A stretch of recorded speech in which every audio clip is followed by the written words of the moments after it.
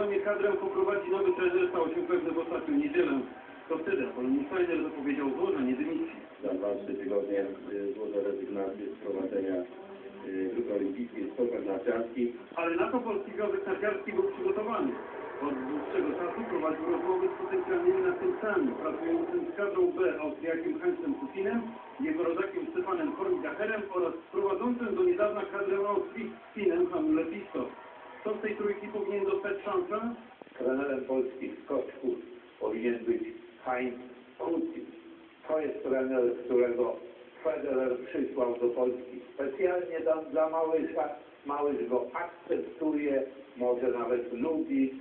Trenerem kadry skoku będzie oczywiście Heinz Kusin. Jego najlepiej zna Adam Małysz, on już jest od ponad e, roku w Polsce, współpracuje z naszymi zawodnikami, zna podstawowe e, polskie słowa, sprawdził się jako trener na Mistrzostwach Świata Juniorów, doprowadził do złotego medalu Mateusza Rutkowskiego. Wydaje mi się, że najlepszym trenerem byłby chyba Heinz Kucin. Dlaczego? Dlatego, że on już poznał polskie środowisko, że to jest trener młody, e, ale który okazał się trenerem z jakimś tam już doświadczeniem. E, Bardzo dobrze realizuje się w pracy z młodzieżą.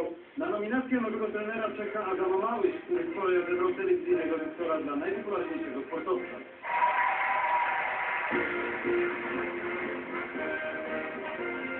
Następcę trenera powinniśmy poznać do końca marca.